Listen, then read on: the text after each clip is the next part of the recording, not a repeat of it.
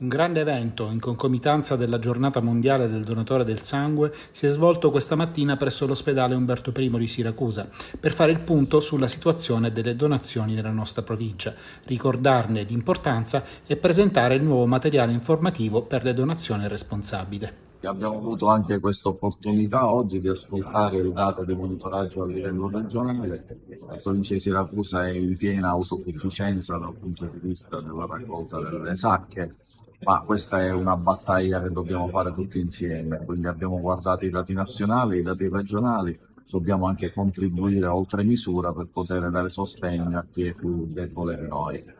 la raccolta è una cosa importante, la donazione è un atto di amore, noi in questa giornata vogliamo celebrare questo momento e vogliamo incentivare quanto più possibile a donare. I giovani che sono in buono stato di salute sono un target assolutamente aggredibile, come diciamo in alcuni casi soprattutto i giovani sportivi che quindi stanno, stanno bene, possono più che mai fare questo gesto di amore verso il prossimo. La provincia di Siracusa negli ultimi tempi ha visto aumentare drasticamente la quantità di sangue donato e questo ha messo in moto un circolo virtuoso. Questa è una giornata importantissima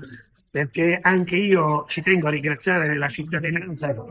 tutta per l'impegno profuso, perché queste donazioni non solo ci arricchiscono delle sacche di sangue necessarie per, nostre, per, i nostri bisogni, ma andiamo a dare aiuto ad altre province. Ma ancora più importante secondo me è, è il, il, plasma rotto che viene dato a un'azienda farmaceutica che in cambio si dice ci restituisce in conto lavorazione, quindi gratuitamente tutta una serie di farmaci che vengono poi somministrare a tutti i pazienti in base alle prescrizioni degli specialisti e quindi abbiamo un, un, ritorno economico ingente perché si tratta di farmaci ad elevato costo. Per cui il ritorno non è solo nelle sacche di sangue e quindi nel garantire le emergenze, quelle che tutti noi cittadini possiamo immaginare, ma abbiamo anche un ritorno economico, vi dico, di ampio respiro, con numeri importanti. Per l'occasione sono stati esposti progetti grafici realizzati dagli studenti degli istituti scolastici Carol Wojtyla e Luigi Genaudi di Siracusa e di Amicis e Quasimodo di Floridia